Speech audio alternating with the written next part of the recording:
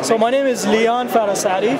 I'm a uh, product manager at Qualcomm, and today I'm here to show you uh, the Snapdragon mobile development platform.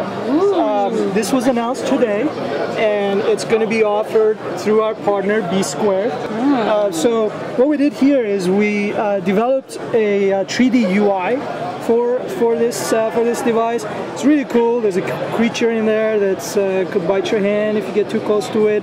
Uh, so just just a uh, you know showcase of what you can do with with the 3D UI.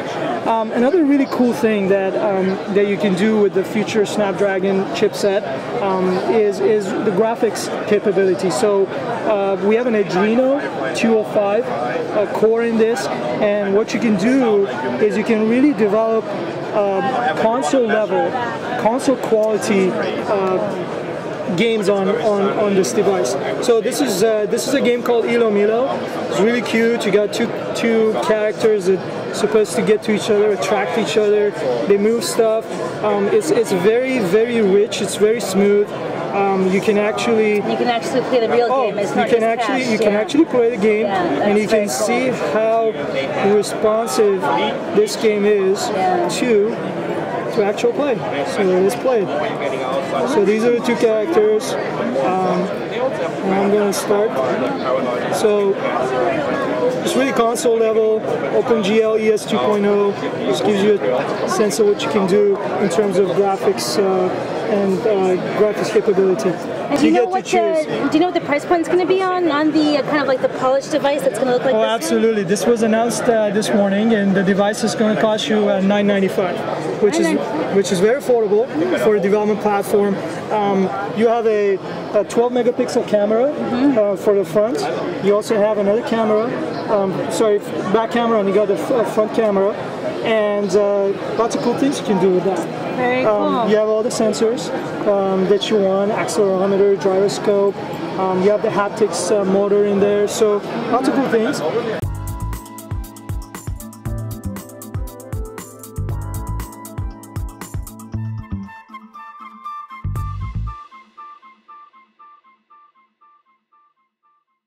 Really cool about this, besides being a Bluetooth stethoscope, so you can record the heart sounds or lung sounds. You can um, transmit them, obviously, uh, using it to a, to a back-end system. But what's really cool is if you have two people with a Bluetooth stethoscope, they can both be wearing the stethoscope, and literally they can talk to each other. So my Bluetooth stethoscope connecting to my phone can can go across the country, and I can have a conversation with the other provider wearing their stethoscope. And they're just using the transducer on the face of the microphone as the microphone. So it's not only getting the heart sounds and the lung sounds, it's actually at working as a communications tool, so that two doctors or a doctor and a patient can communicate with each other. So this is a, a Littmann Littmann stethoscope. It's commercial today. This is another smart Band-Aid. What you're seeing here is the adhesive, the white part. You're seeing a little holder. That little holder has a little tiny needle on the backside. That needle actually goes into a diabetic patient here on the lower abdomen. And then the gray part is a radio. So this is a wireless, continuous glucose monitor. Commercial today. Sends the transmission out. This particular company, while they're using wireless here, are not yet using cellular, but they're in the process of just launching, finishing the development on their first cellularly equipped monitor where you actually read the results and then the results go up to, up to the net. So this part's already wireless, already commercial, already approved. The cellular part will be out by the end of the year.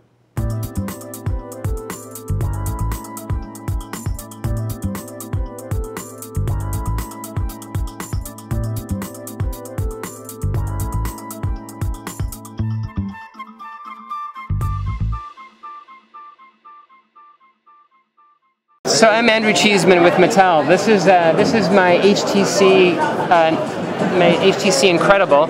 You can see it's just a camera, and here on the ground, you see that we printed up a target.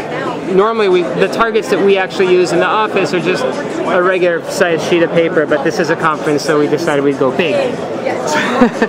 So when you look through the camera and you point it, oops, when you look through the camera and you don't hit the volume button and you point that at the target, what you'll see is that the uh, is that robots appear, not robots and a boxing ring appear right here, and and it's as though the robots were right there, so I can actually zoom in and look at the robot's detail. I can look at his eyes, right?